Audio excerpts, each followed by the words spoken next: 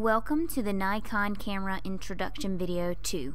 Today, we will be going over a few extra functions that will help you efficiently operate and maintain your camera. The first topic discussed will be the menu panel. Notice the menu button displayed to the left. It is being selected and you will see different components that you can select. If you scroll upward, it has playback menu. Go down, shooting menu, another custom setting menu, setup menu, retouch menu, and lastly, recent settings. We can scroll back up to the top. Now go back to the shooting menu and use the select keys to move to the right. Next, to move down to set picture control, select the option. The camera is set in standard mode, which is what the majority of the class will be using, but we can also set the camera to monochrome mode, which captures the images in black and white. Go back up and select standard. This will take you back to the shooting window. Use the select keys to move down and select image quality. The camera should be set in JPEG Fine, but sometimes you can select the NEF RAW file to capture raw information. Select OK to go back to the shooting menu. Now select image size. Notice there are three different settings, large, medium, and small. The camera should be set for the large image size. Select OK to go back to the main menu. Move down one and select the white balance option. Auto will mainly be used in this class, but sometimes if using fluorescent lighting, the fluorescent option will help create a better balance of white. Select OK and the color diagram is displayed to manually edit. Click OK one more time and it will take you back to the shooting menu. Before continuing, let's grasp a better understanding of why we set different white balances. Notice in this image, the child on the left has a normal complexion, and the image to the right makes the child look yellowy. The white balance tells the camera what color temperature the light source is being shot at, and can be adjusted to create more accurate image. For example, if you are standing in a room with fluorescent lighting, someone may have a greenish tint in their skin tone, whereas if the room is lit with incandescent lights, you may appear more yellow. The camera balances these settings to create a normalized picture, such as the example displayed on the left. White balance can also capture creativity. In this image, the sunset colors are rather dramatically different.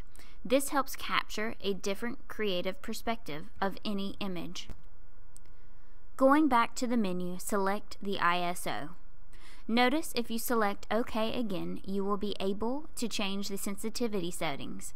The larger the number, the more sensitive the camera is to the light, but the lower the number, the less sensitive the camera is to light. If you are outside and it's sunny, you should use an ISO between 100 and 300. But if you are inside, you should use an ISO value of 600 to 800. Let's look at this displayed example. Notice the difference between the two identical pictures shot with two different camera sensitivity settings. The image on the left allowed less light sensitivity, making the image appear smooth, whereas the image on the right was shot with a high ISO, which allowed more sensitivity to light. In turn, the image has too much digital noise because the sensors are overly sensitive. The higher the ISO speed, the more digital noise signals are captured. This noise manifest is like tiny colored specks scattered all over the picture area. It is especially noticeable in the dark areas or shadow of the image. Now let's go back to the main menu panel and scroll to the setup menu. The symbol looks like a small wrench. Then select the right key and move to select Format Memory Card. This area will allow you to delete all images on your camera. Please remember when you borrow a camera to save all data to your computer and delete all images before turning the camera back in.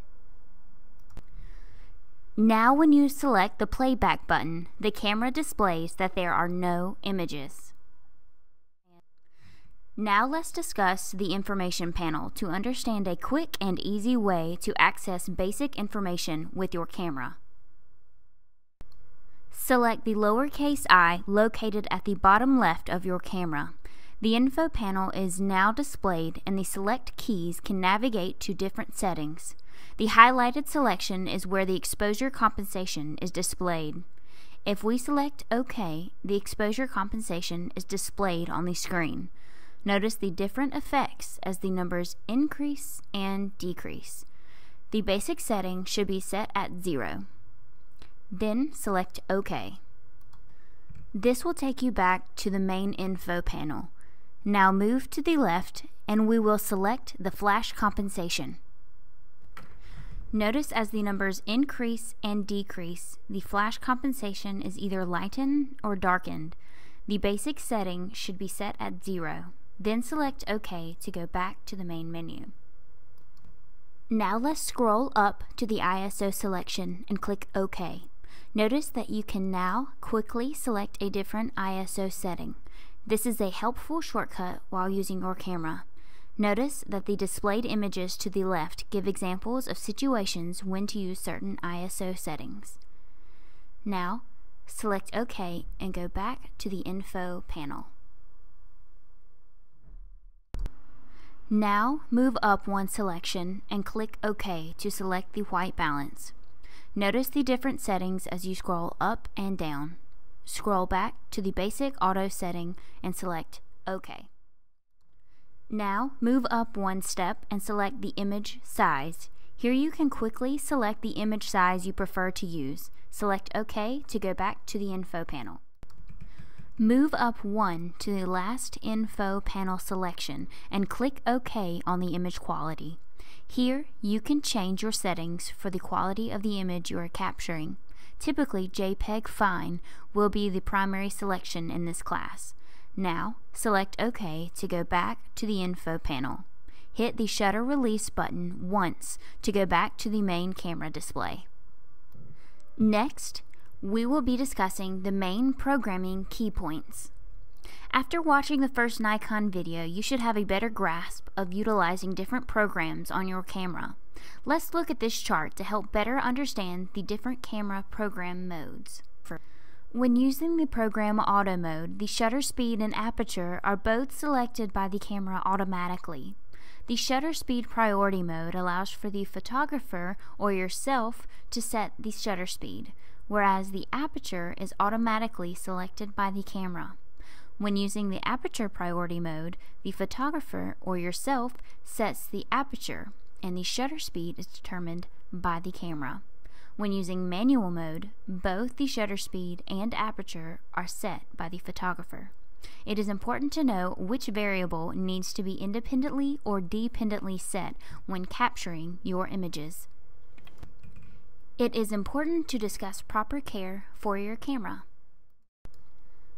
The lens cap needs to be properly placed in the front of the camera to protect the camera lens.